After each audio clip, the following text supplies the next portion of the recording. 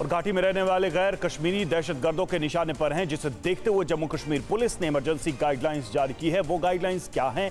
आइए 30 सेकंड की इस रिपोर्ट में देखें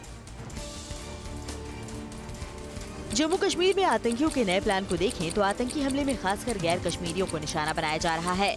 अब जम्मू कश्मीर पुलिस ने भी आतंकियों को उसी के अंदाज में सबक सिखाने का प्लान बनाया है। इसे लेकर सुरक्षा बलों ने कश्मीर घाटी में इमरजेंसी अलर्ट जारी किया है, जिसमें कहा गया है कि आतंकी वारदात को रोकने के लिए सभी गैर स्थानीय लोगों को सुरक्षा प्रदान की जाएगी। कश्मीर घाटी में मौजूद गैर कश्मीरी अपने अपने क्षेत्र के नजदीकी पुलिस स्टेशनों, आर्मी कैंप्स और अन्य सिक्योरिटी शिविरों में जल्द ऐसी जल्द पहुँच जाए। गौरतलब है की आतंकियों की नई हिट लिस्ट में दुकानदार, नेता वर्कर समेत हिंदू और सिख भी शामिल हैं।